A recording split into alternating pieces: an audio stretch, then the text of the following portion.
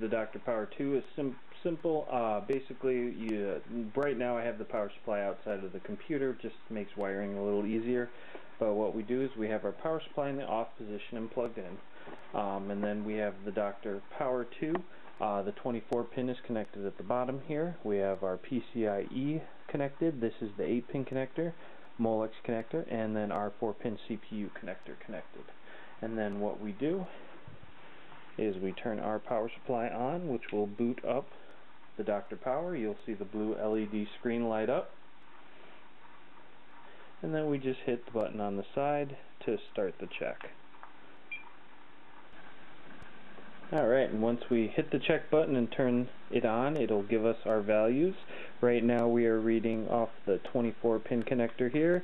If we keep hitting along the buttons, this is the PCI rail, the CPU rail, and then we got the Molex rail.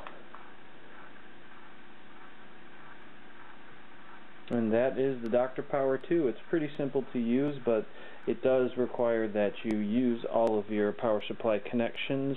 So this will, this can't be run in real time as the computer is running under, say, different load situations to try and diagnose if you have fluctuating rails. This is more of kind of like a first line of defense. If you think your power supply is failing, you can grab one of these, pop it in, and you're good to go.